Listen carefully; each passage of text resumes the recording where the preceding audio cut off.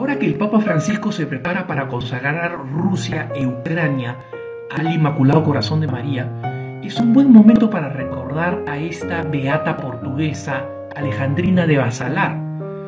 Ella sufrió una fractura en la columna huyendo para mantener su pureza y sufrió durante mucho tiempo viviendo exclusivamente de la Eucaristía teniendo muchas experiencias místicas.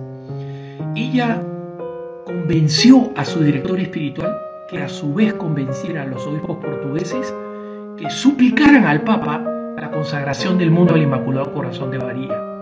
Lo hicieron con el Papa Pío XI y finalmente el Papa Pío XII en 1942 cumplió con esta consagración gracias a ella.